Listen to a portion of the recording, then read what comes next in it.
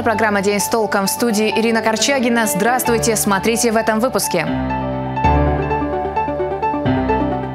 Возвращение к прежнему пенсионному возрасту сняли с повестки, оклады алтайским бюджетникам повысят в полтора раза. Что еще обсуждали на сессии АКЗС? На каких децибелах живет Барнаул и как городской шум влияет на продолжительность жизни? Поставили точку. Танцевальный коллектив из Барнаула взял бронзу на Дельфийских играх.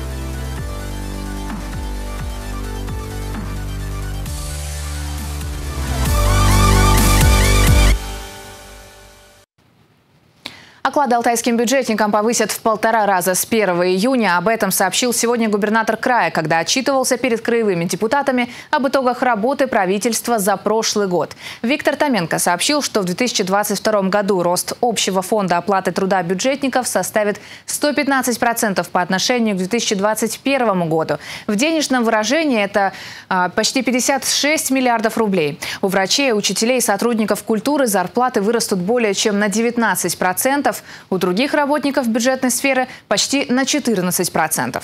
Тема финансового благополучия населения стала ключевой в отчете губернатора. С одной стороны, подчеркивалось, что зарплата должна вырасти больше, чем у 160 тысяч работников бюджетной сферы края. С другой, не скрывалось, что Алтайский край на сегодня аутсайдер по размеру зарплат среди регионов Урала, Сибири и Дальнего Востока. Анара Шагирова продолжит тему.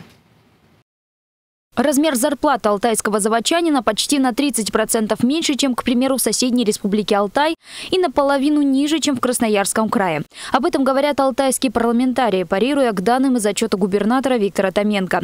Резонанс вызвал и показатель среднедушевого дохода. В разные месяцы, по данным официальной статистики, его размер не больше 20 тысяч рублей. И это при том, что прожиточный минимум 12 тысяч. Кто-то может объяснить, как человеку прижить или прожить при той ситуации, когда реальный доход гражданина составляет чуть больше 20 тысяч, а прожиточный минимум почти две трети от этого дохода. Такие пропорции они не являются нормальными, только вот э, этих цифр, по мнению фракции, достаточно, чтобы оценить работу высшего органа исполнительной власти как неудовлетворительную. Партия коммунистов единственная не высказала свое «за» или «против» поддержку отчета главы региона. Остальные фракции дали в целом положительную оценку работе губернатора, но без критики не обошлось. Из доклада в доклад кочевала тема низкого уровня зарплат. И даже повышение ее в прошлом году, замечают депутаты, остались незамеченным для населения из-за инфляции. В особенной ситуации оказались вчерашние студенты. Низкие зарплаты молодых специалистов в образовании, здравоохранении, культуре, спорте на гос- и муниципальной службе. У нас в крае в этих отраслях зарплаты и так в целом невысоки, но максимум, на что, как правило, могут рассчитывать молодые специалисты, это МРОТ. Однако в целом, слушая отчет губернатора, складывается впечатление, что 2021 год был неплохим. Есть успехи, например, в промышленности. Предприятия произвели и продали почти на треть больше, чем годом ранее. Объем воловой продукции сельского хозяйства вырос в полтора раза по сравнению с 2020 годом. Жилья стало на 1 миллион квадратных метров больше. На нашем особом контроле вопрос обеспечения детей-сирот жилыми помещениями. Благодаря, благодаря совместной работе с депутатами Алтайского краевого законодательного собрания, с прокуратурой Алтайского края в 2021 году совместно нами был найден способ решения многодетней проблемы обеспечения жильем детей-сирот путем предоставления сертификатов жилищных. По итогам только 2021 года 125 детей-сирот получили жилищные сертификаты на покупку квартир. В настоящее время их число уже более 300 человек, а 100 человек уже превратили эти сертификаты, собственно, в свое жилье. Отдельно подчеркнем, что фракция КПРФ просила включить в повестку сессии вопрос о возвращении к прежнему пенсионному возрасту. Волна такой инициативы началась во многих региональных парламентах страны. Но депутаты Алтайского края большинством голосов накануне проголосовали за снятие этого вопроса. Анара Шагирова, Дмитрий Денисов. День с толком. Тысячи людей на планете уходят из жизни из-за расстройств, которые связаны с высоким уровнем шума. Он увеличивает число гормонов стресса в крови человека. Как итог, сердечно-сосудистые заболевания, падение иммунитета, постепенная потеря слуха. В Барнауле, как и в большинстве городов мира, уровень шума гораздо выше допустимого. На каких децибелах живет наш город и есть ли способы снизить этот уровень? В Международный день защиты от шума это узнавали наши корреспонденты.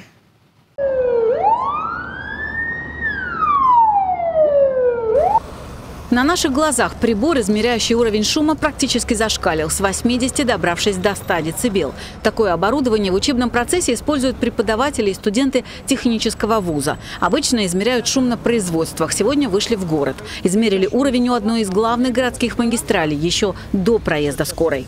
Сейчас видим, насколько у нас возросло децибелы, когда началось движение машин. Вот было 66, стало 80, 83,9. То есть это уже не норма, это уже слишком много для человеческого слуха.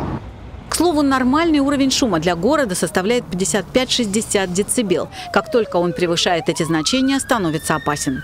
В среднем в России считается, что после 2010 года практически на 10% увеличился уровень шума и увеличилось количество профессиональных заболеваний, связанных с тугоухостью. В принципе, у нас повышенный уровень шума вызывает агрессивное состояние, раздражительность, бессонницу, чем страдает сейчас городское население у нас очень активно. Моя подруга живет около кинотеатра «Мир», и она говорит, что ночью э, очень шумно, мотоциклы, машины. А куда деваться? Я честно говорю, куда деваться?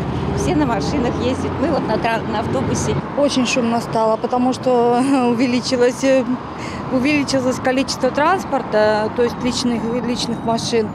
Но мне это, в принципе, не мешает. Если что, я выбираю тихие улочки, и я живу в тихом месте. В основном ночную, а тем более дневную городскую тишину нарушает шум машин. Он, в принципе, гораздо выше нормы, которую способен выдержать человек. Многие эксперты считают, что убрать шумовую грязь можно. Способы давно известны.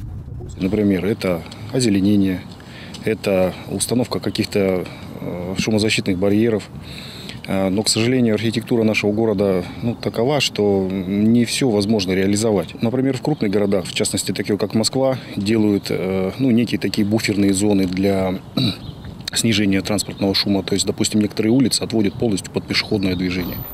Китайцы продвинулись еще дальше. Вокруг домов они делают многоуровневые развязки, которые подавляют шум авто. Снизить уровень децибел на дорогах можно и с помощью электромобилей, считают эксперты. Но, пожалуй, чередование шумных и тихих зон в городском пространстве – самый лучший способ на время побыть в тишине. Если же вы думаете, что помочь может музыка в наушниках, то такого совета специалисты не дадут. Пытаясь таким образом перекрыть городской шум, люди рискуют и вовсе оглохнуть, ведь в ушах будет уже 120 20 децибел, а это звук пролетающего мимо реактивного самолета. Татьяна Голубева, Александр Антропов, Вадим Быстревский. День с толком. В майские праздники в Алтайском крае изменится работа медицинских организаций. Так, 30 апреля, 1, 2, а также 7, 8 и 9 мая принимать пациентов в поликлиниках будут до 15 часов. 3 и 10 мая рабочий день во всех медучреждениях закончится в 18 часов.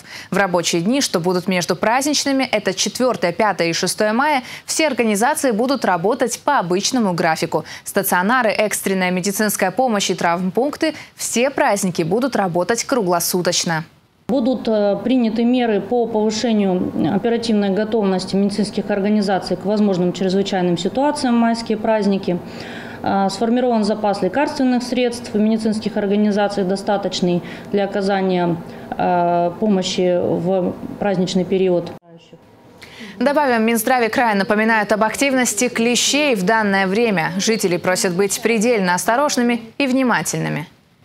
Жизнь в постоянном страхе. Жители села Благодатное жалуются на электрические столбы вдоль домов, которые не сегодня-завтра могут упасть на машины, прохожих и в том числе детей.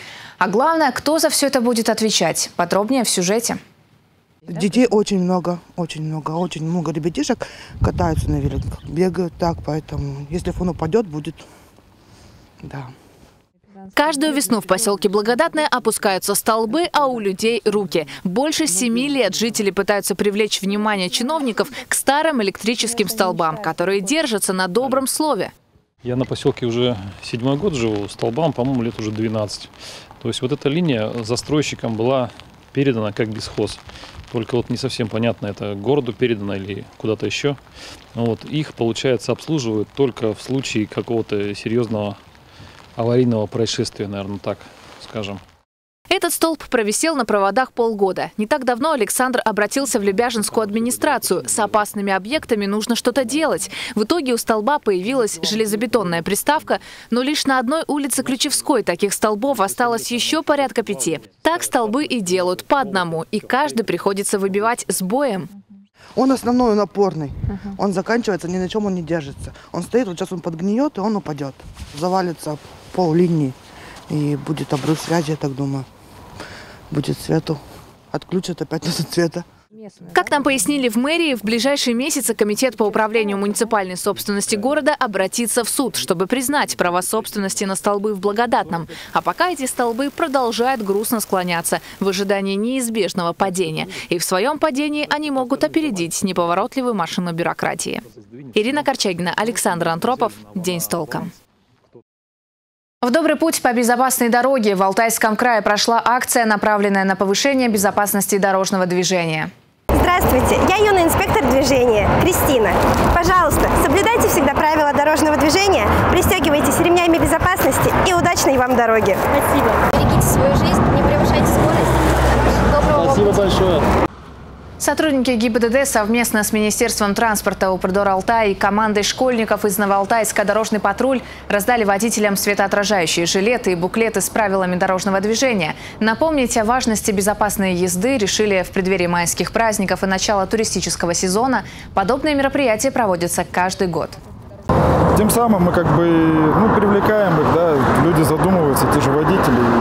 По крайней мере, они задумываются о тех, кого они везут, за их безопасность и, ну, и уважение к другим участникам движения. Такие мероприятия подобные, они у нас проводятся в разных районах разными сотрудниками ну, раз, различных подразделений. И юный инспектор движения обычно нас всегда в этом поддерживают и помогают в этом. В общем-то, на них э, водители реагируют особенно э, с удовольствием, потому что дети, которые желают безопасности, дети, которые участвуют во всех мероприятиях, которые проводят взрослые, они всегда настраивают на позитив и дают хороший результат. Не хватает диалога с населением, поэтому депутаты пойдут в народ. О таком переформатировании работы заявил секретарь Барнаульского отделения «Единой России» Вячеслав Франк. Партийцы провели крупнейший за последние два года форум, чтобы обсудить их планы накануне муниципальных выборов и новые задачи. Подробнее в сюжете. Больше 600 участников. Крупнейший за последние два года форум «Единой России». Его участники обсуждают новые форматы работы партии. После того, как в январе лидер городского отделения Вячеслав Франк призвал коллег отправиться в народ. Чтобы мы уже от людей получали те проблемы, которые непосредственно их касаются на местах их проживания. Сделаем приемные э, в каждых районах, общественные приемные по линии партии. Для этого подготовили мы документы, раздаточные материалы. Хотим получить оттуда обратную связь, так сказать, через заполнение анкет. Действующие народные избранники уже читались перед барнаульцами своей работе, собрали идеи на будущее. В рамках форума обсуждений вели участники праймерис и делегаты первичных отделений, представители партии края и федерации. Депутат Госдумы Иван Лор подчеркнул, это не просто тусовка, это старт системной работы. Это как раз будет подчеркивать и связь э, Барнаульской городской э, э, власти, администрации, партии с Государственной Думой или верхними эшелонами власти. Потому что есть вопросы, которые можно решить на уровне города, на уровне правительства Алтайского края, а есть и те, которые необходимо решать на федеральном уровне. А с учетом вертикали власти, по словам Лора, некоторые вопросы местного уровня можно решить в короткие сроки. В эффективности будущей пятилетки участники не сомневаются. Появились определенные возможности, в том числе и главные финансовые. И сегодня уже главная задача в том, чтобы вот то обилие финансовых ресурсов, которые есть, сосредоточить и правильное русло направить. Еще несколько предложений участников – создать общественные политические советы в районах города, передвижные приемные. Что важно – внедрить ежегодный отчет депутатов перед своим округом. Полный список идей Вячеслав Франк озвучит 11 мая на Всероссийском форуме местных отделений партии. Анастасия Дороган, Дмитрий Денисов. День с толком. В России отметили День работников скорой медицинской помощи. Этот профессиональный праздник появился в стране в 2020-м по инициативе Владимира Путина во время непростого периода пандемии. Впрочем, волны коронавируса до сих пор дают о себе знать, а система здравоохранения за эти годы качественно изменилась. Экстренная помощь. Часто именно так начинается лечение. Станция скорой медицинской помощи, по признанию медиков, головное учреждение службы здравоохранения края. На то есть прямые причины. От их своевременности, профессионализма зависит того, будет пациент жить или нет. Вовремя госпитализировать пациента нужно было, это их работа была, и они с ней справились.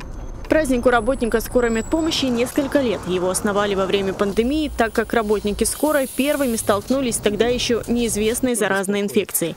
Но помимо коронавируса они спасали от инфарктов, инсультов.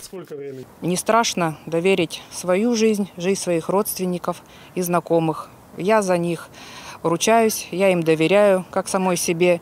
Еще вчера тромболизис для нас с вами был чем-то эксклюзивным. Сегодня, по сути дела, это наша с вами рутинная практика.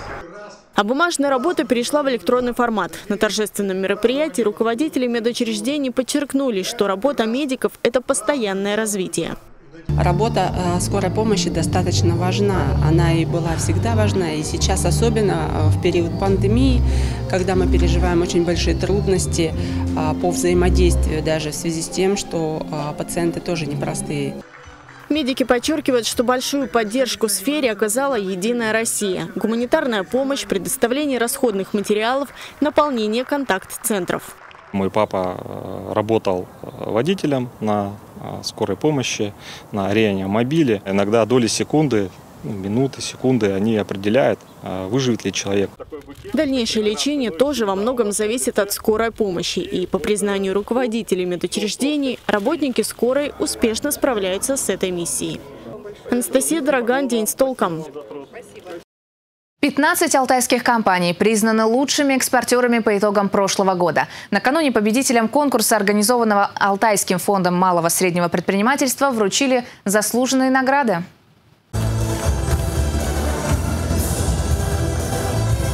Дипломы и ценные призы компаниям региона, которые, несмотря на сложные экономические условия, не сбавляют оборотов по производству продукции и поставке ее за рубеж. Для таких предприятий Алтайский фонд МСП учредил три номинации. Экспортер года в сфере промышленности, экспортер года в сфере агропромышленного комплекса «Прорыв года». Так, лидером номинации «Экспортер года в сфере промышленности» стала компания «Велес». Свою продукцию, технику для обработки почвы она поставляет в 15 стран. Мы не первый раз участвуем, э, мы уже были э, призерами этого конкурса. В этом году мы не планировали участвовать, я, по крайней мере, не планировал, коллеги просто подали э, и особо ни на что не надеялись. Поэтому для меня это было ну, неожиданностью, приятной неожиданностью, конечно. Среди конкурсантов есть бизнес-компании, которые впервые попытали удачу весьма успешно. В числе таких продовольствие. Всего за год предприятие товарооборот нарастило больше, чем в два раза. Очень удивлен, что мы стали победителями.